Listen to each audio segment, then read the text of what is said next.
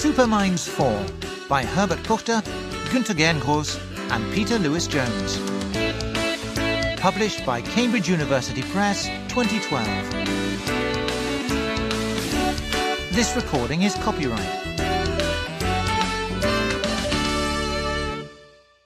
Recording for the Student's Book and Workbook. CD 1